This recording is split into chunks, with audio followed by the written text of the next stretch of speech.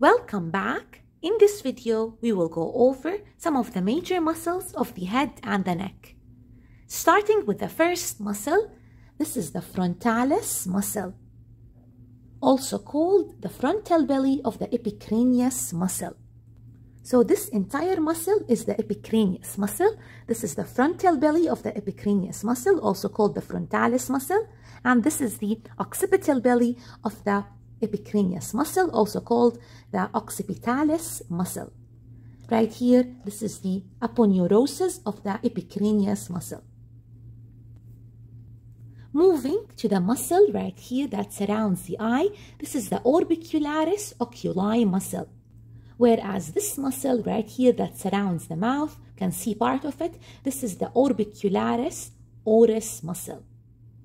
Moving to this muscle right here, we can see part of it. This is the levator labii superioris muscle.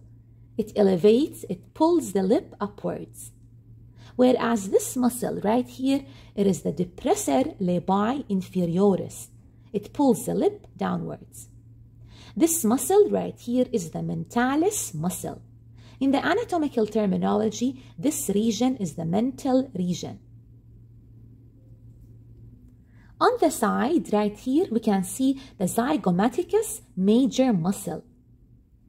Inferior to it right here, we can see the zygomaticus minor muscle. This right here, we can see part of the buccinator muscle. At the angle of the mandible, this muscle right here is the masseter muscle.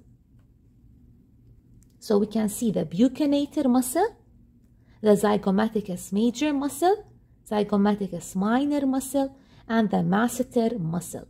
And this muscle right here, we can see the platysma. Right under the platysma, we can see some of the neck muscles. This muscle right here is the sternocleidomastoid muscle.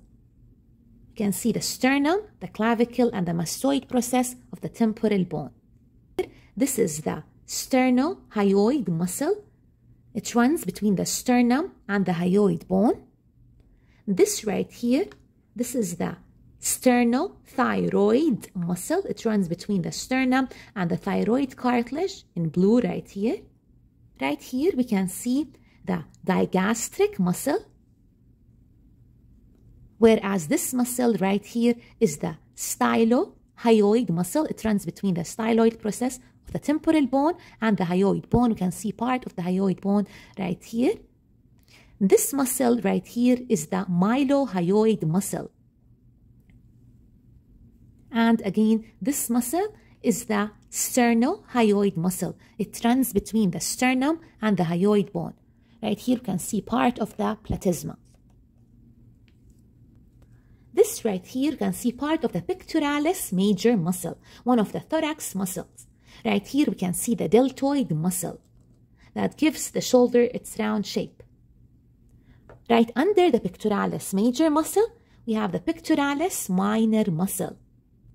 Right here, we can see the two intercostal muscles. So this right here is the internal intercostal muscles. Notice how the fibers, they run away from the sternum whereas this is the external intercostal muscles. Notice how the fibers, they run toward the sternum. This muscle right under the clavicle, this is the subclavius muscle. On the side, right here, we can see the temporalis muscle, which is located on the temporal bone. This right here, we can see part of the masseter muscle, which covers the angle of the mandible, this bone right here we can also see the sternocleidomastoid muscle. Moving posteriorly, this right here is the trapezius muscle, which looks trapezoid in shape.